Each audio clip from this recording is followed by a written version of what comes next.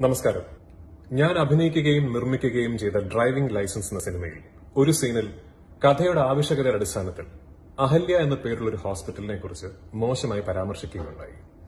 ഈ സീനിൽ അഭിനയിക്കുമ്പോഴോ പിന്നീട് ഡബ്ബ് ചെയ്യുമ്പോഴോ അഹല്യ എന്ന പേരിൽ വലിയ പാരമ്പര്യമുള്ള ഒരു group of health care institutions ഇന്ത്യയിലും പുറത്തുമായി വർഷങ്ങളായി പ്രവർത്തിച്ചു വരുന്നു എന്ന വസ്തുത എനിക്ക് അറിവുള്ളതായിരുന്നതല്ല.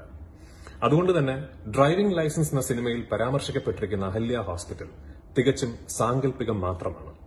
എന്നാൽ ഇത്തരത്തിലുള്ള ഒരു പരാമർശം അഹല്യ ഗ്രൂപ്പ് ഓഫ് ഹോസ്പിറ്റൽസിന്റെ ഉടമസ്ഥതയ്ക്കും സ്റ്റാഫ് അംഗങ്ങൾക്കും അവിടെ വർക്ക് ചെയ്യുന്ന ഡോക്ടേഴ്സിനും വലിയ രീതിയിലുള്ള വിഷമം ഉണ്ടാക്കിയിട്ടുണ്ട് എന്ന് ഞാൻ മനസ്സിലാക്കുന്നു. അതുകൊണ്ട് തന്നെ ഡ്രൈവിംഗ് ലൈസൻസ് എന്ന സിനിമയിലെ പ്രധാന നടൻ എന്ന നിലയിലും നിർമ്മാതാവ് എന്ന നിലയിലും അഹല്യ ഗ്രൂപ്പ് ഓഫ് ഹോസ്പിറ്റൽസിന്റെ ഉടമസ്ഥതയോടും സ്റ്റാഫ് അംഗങ്ങളോടും അവിടെ വർക്ക് ചെയ്യുന്ന ഡോക്ടേഴ്സിനോടും അവിടെ ചികിത്സ തേടിയിട്ടുള്ളതും തേടാൻ പോകുന്നതുമായിട്ടുള്ള വ്യക്തികളോടും ഞാൻ മാപ്പ് Amém.